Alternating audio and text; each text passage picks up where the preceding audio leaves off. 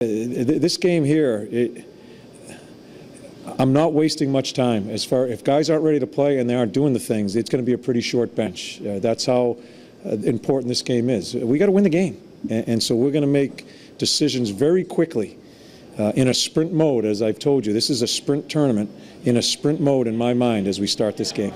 I can't wait, and I think our players can wait for this game to start, and uh, that's going to be a blast. Playing there against them. Uh, everybody wants us knocked out.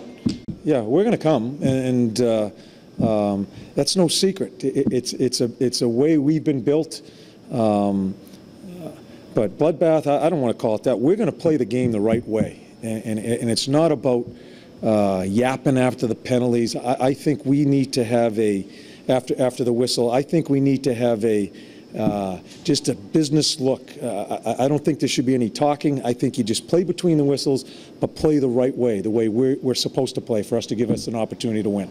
But your best players need to be your best players, and, and that's how you win in these games. And uh, we need our best players to be our best players.